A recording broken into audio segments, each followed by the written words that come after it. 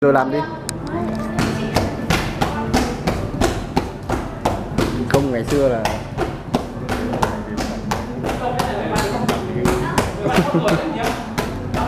hương ngồi đấy